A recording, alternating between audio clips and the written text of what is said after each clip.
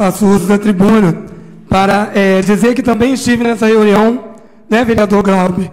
Nós saímos daqui, inclusive, com esse compromisso, né, quando os senhores estiveram aqui, numa outra oportunidade, e nós ficamos com esse compromisso, inclusive eu, de ligar ao secretário de Educação, confirmar uma reunião que até então não estava confirmada, né, foi o que me passaram, mas tão logo eu liguei para a secretaria, a reunião foi marcada, porque naquele momento onde é, nós nos reunimos aqui, segundo a Secretaria de Educação, que eu liguei no mesmo dia, a reunião ainda não estava confirmada, mas enfim, é, confirmou-se a reunião.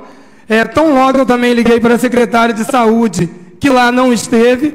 Lamentável isso, estamos tratando de vida, estamos falando de saúde.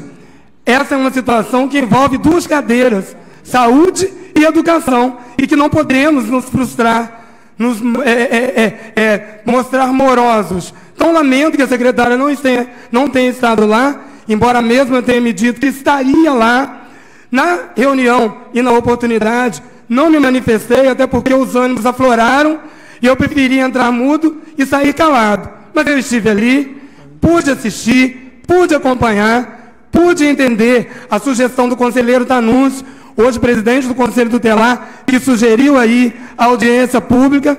Quero dizer que estamos falando de direito de criança e adolescente. Estou pedagogo, conhecedor de direitos, luto pelo direito do seu filho, sou comissão de educação e acredito, o município sim está buscando o melhor para o seu filho.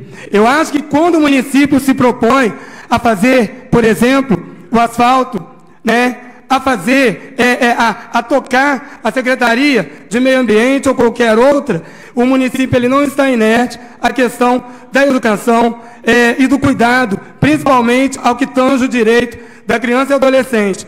Muito mais se tratando da questão do sujeito autista. Penso que o executivo está sensibilizado, penso que o secretário é, teve ali uma posição coerente, as mães puderam falar, colocar o que realmente as incomodavam. Acho que realmente a Secretaria de Educação também é um dos lugares onde essa discussão tem que tomar um rumo, e aí agora é somente esperar a tão sonhada audiência pública, na qual todos nós estaremos juntos e aguardando que realmente os senhores pais, tanto quanto os seus filhos, sujeitos de direitos, possam desfrutar dessa inclusão do seu lugar né, dentro é, do, do, do processo educacional. Muito obrigado. Boa noite.